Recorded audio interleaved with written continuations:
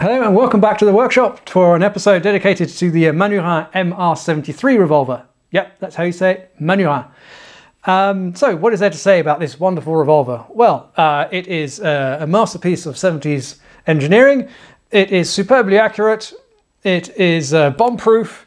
It has a trigger mechanism second to none. It is exceedingly expensive. And, uh, oh yeah, hashtag GIGN. Thanks for watching. Bye. Oh, beer o'clock. Woohoo! Now, that wasn't really the entire episode, although it sums up most of the information out there on these revolvers. Uh, but that's not good enough for Bloke on the Range. We'd like to delve a little deeper. Now, uh, what I propose to do is to delve a little deeper into the trigger mechanism because um, the reputation is entirely justified, but there doesn't seem to be much information out there as to why it's so good. So I propose we uh, take the side plate off and have a little look. Now this is my uh, 4 inch sport model. Uh, it's dated from 1982, possibly early 1983. Uh, so it's a 100% Mulhouse produced uh, revolver, not a Chapuis one. Uh, you can easily tell the Chapuis produced ones, by the way, because they have an HA serial number, whereas all the uh, prior ones have a single letter and the letter will correspond to the model. Uh, so this 4 inch sport model starts with a K, for example. Um, so yes, um, this will be only the second time I've ever taken the side plate off it in about seven years of owning it. Um, it's worked until then. I've cleaned the outside and the the uh, cylinder cut out in the frame and the cylinders, but the mechanism has never needed any care whatsoever. So it's going to be a privilege and uh, let's delve right in. Now before we start, I we might want to see the original box and what came with it. So here we are, Manufacture de Machines du Haut-Rhin, which is where Manurhin comes from. Mulhouse Bourtzwiller, despite the name, is in France. Um, now the actual founder was uh, a German, Jules Spengler, maybe Julius Spengler, in uh, 1919. Set up his business across the border, uh, originally making uh, machines for the food industry. And uh, it's actually only in, in 1922 that the, the first sort of uh, orientation towards armament starts with uh, ammunition production. Anyway, so this is what the, the box that my gun came in. Here you have normally a series of Allen keys. One of them is secreted inside the grip here. Um, you would have a little screwdriver, rudimentary cleaning kit, and in this case a second cylinder because this one came with a uh, 9mm cylinder which is actually currently in the gun. But we'll speak about the difference between two cylinders later. Um, so the 9mm cylinder was an option and it is not numbered to the gun. So uh, there's no matching 38 and 9mm sets as it were. So Let's see what other goodies we've got on the underside, if I can remove it.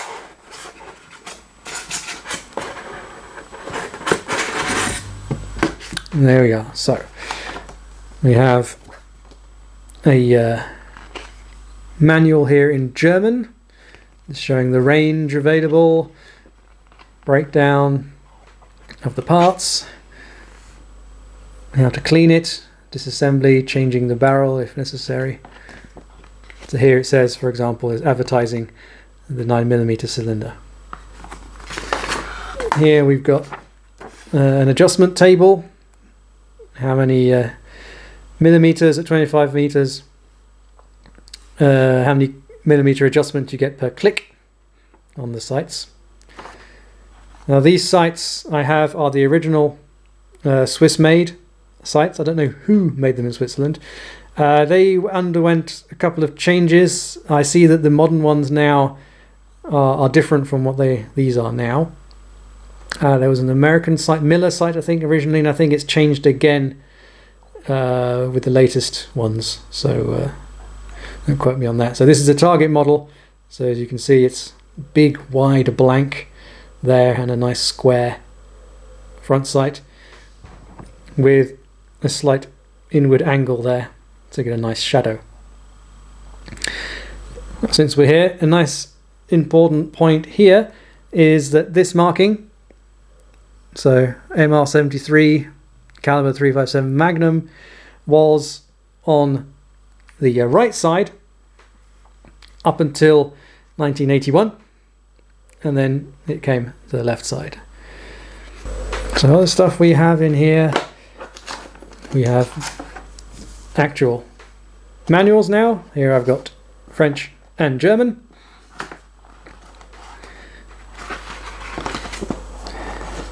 With uh, more exploded diagrams.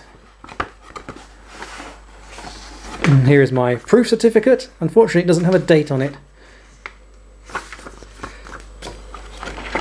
So all sorts of goodies. Notice on the top here that it says Groupe Matra.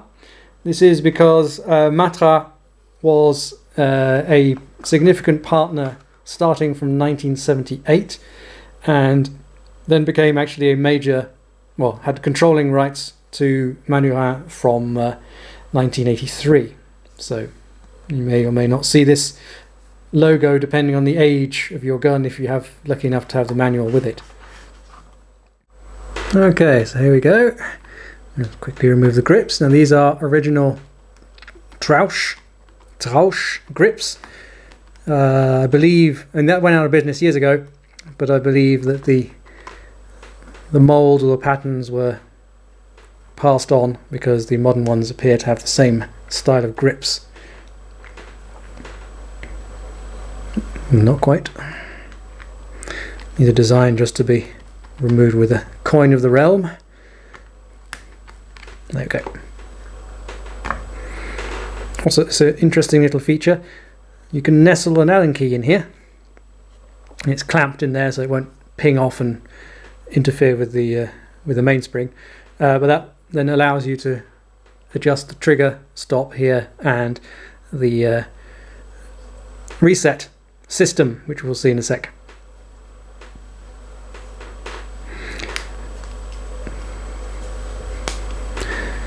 So, there you go. Another interesting point here is that this side plate has three screws. Uh, the modern ones now have only two, so this one is gone and is replaced just by uh, a beveled surface between the two, between the frame and the uh, side plate. And that change is somewhere between 1984 and 1986. I'm not exactly sure when. Right, now to make things easier I will also remove the cylinder which is just by done by removing this screw here. That won't fit.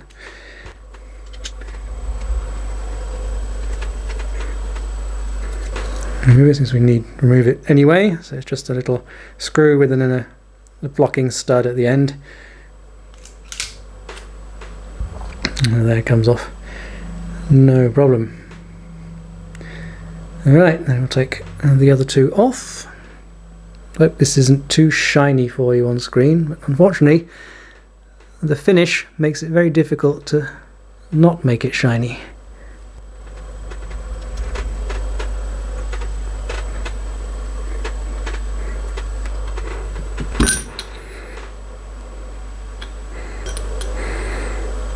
There we go, the big reveal. And you can see here, for example, how well finished this is. There are no machining marks left whatsoever. You just got a, a sort of satin black finish inside.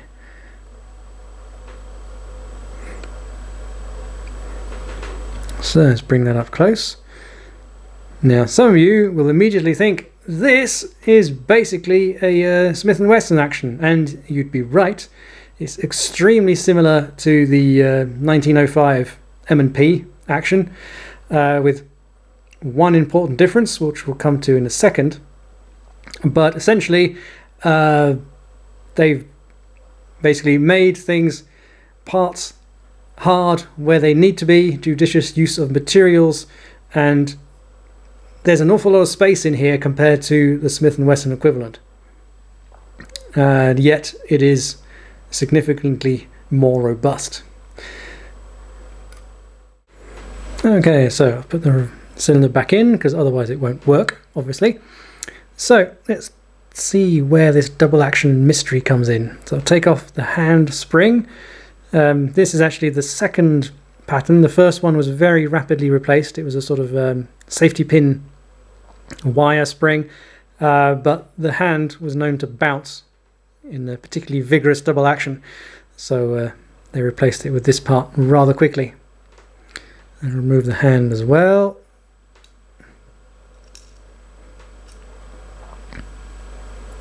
The hand, hand ground part this.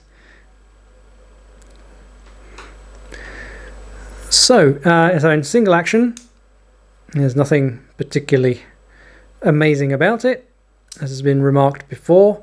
Uh, but what is fascinating is the trigger reset.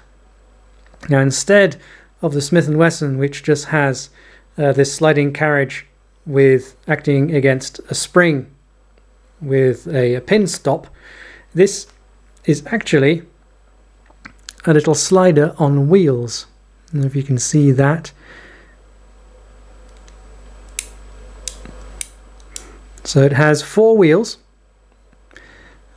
and it rides on a little rail machined in the frame here. And then there is a central abutment roller in the middle which has its own little groove. Um, so it has that itself has no contact with the frame just with this reset spring here which on which you can adjust the tension down at the bottom there. And this is where the secret lies uh, this system was patented by um, a Manurhin employee by the name of uh, Gilbert Maillard and um, patented in, well, filed in 1973.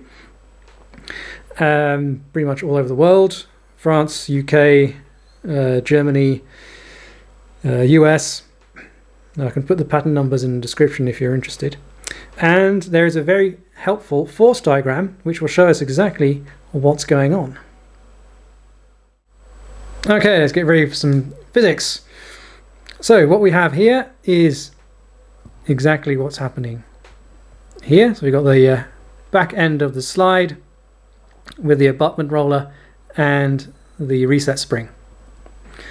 Now this is the at rest position with point of contact here and a force F0. Now this force is the one necessary to reset the trigger and also ensure the trigger has rebounded into its safe position. So you've got a safety lockout here and the normal one at the top there as usual. Now what happens with a Smith & Wesson system which has the coil spring acting on a peg is that as you move the trigger back you're compressing the spring and you get an increase in perceived force on the trigger as you near the end of travel before trigger release. In this case, what's happening is that as the carriage moves back, the point of contact moves up along the roller. So you have a normal force F here.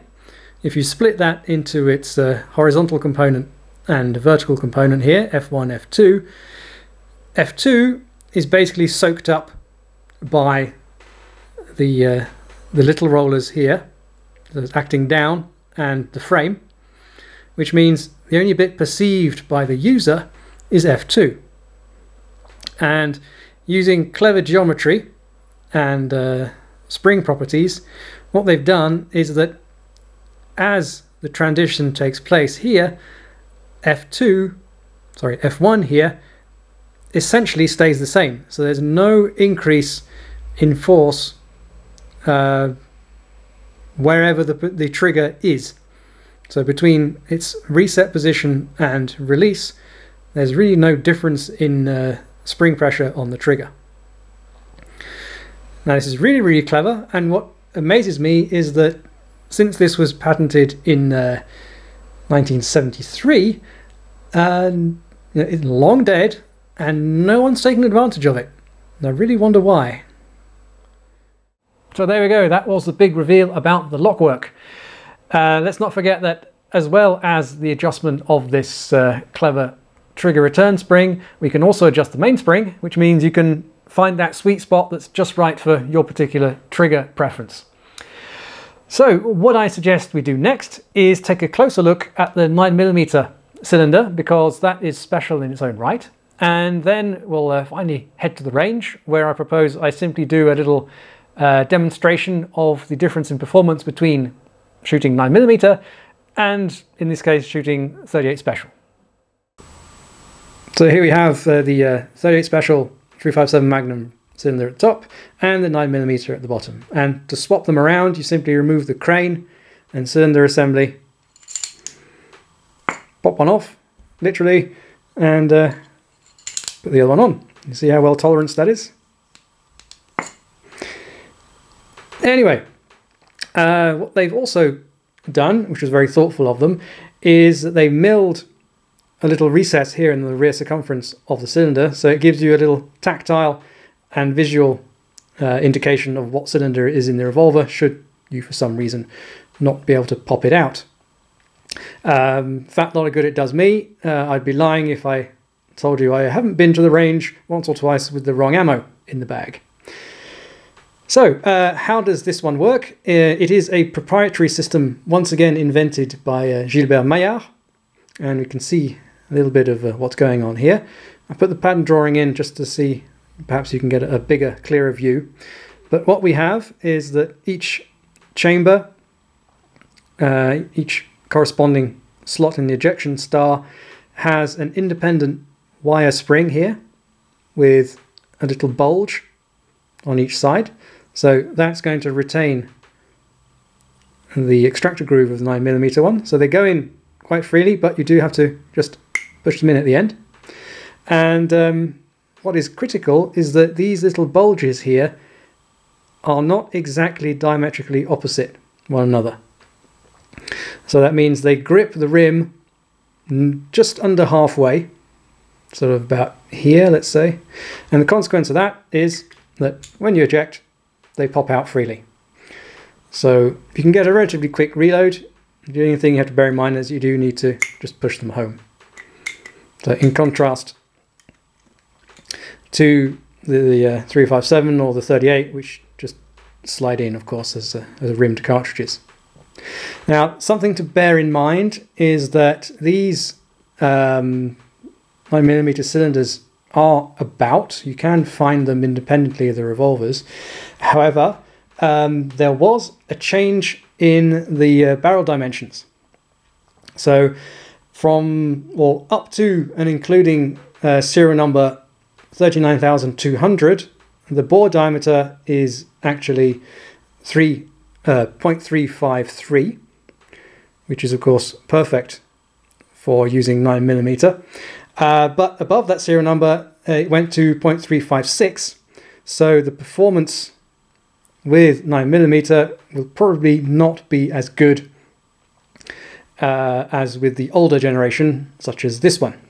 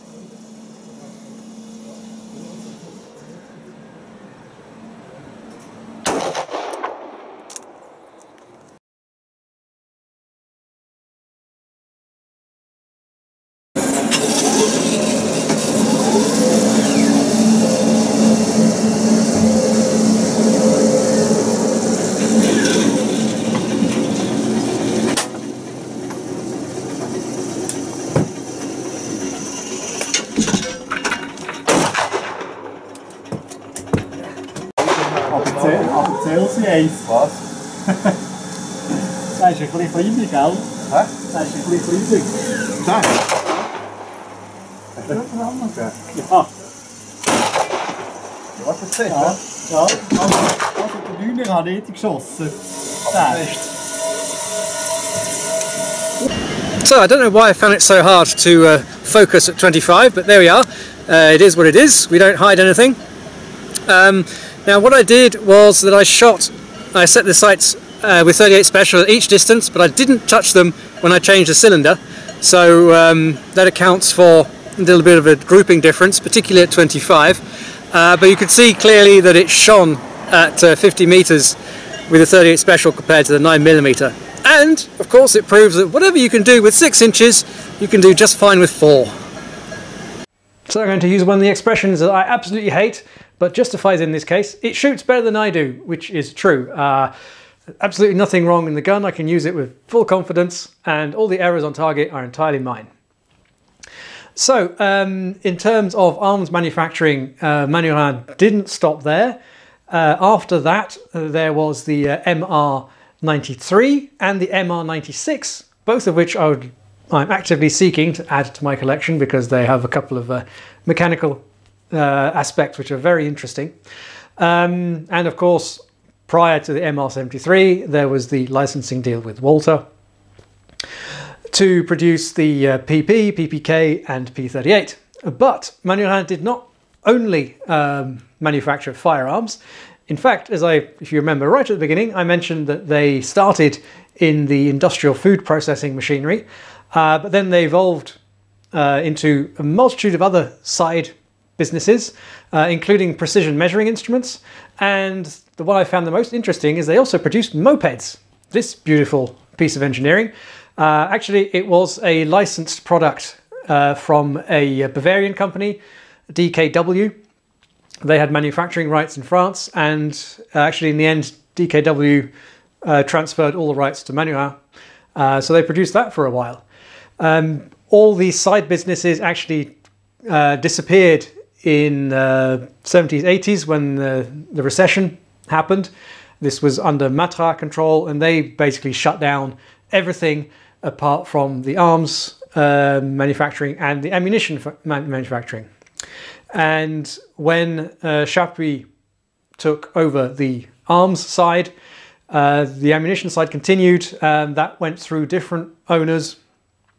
Uh, I didn't really look up too much. That seemed to switch even more uh, than the arms business. And of course, now we're lucky enough that Beretta has taken over from Chapuis to distribute this wonderful revolver everywhere. So, um, here endeth the episode. I hope it wasn't too fanboy for you all, and I'll see you next time.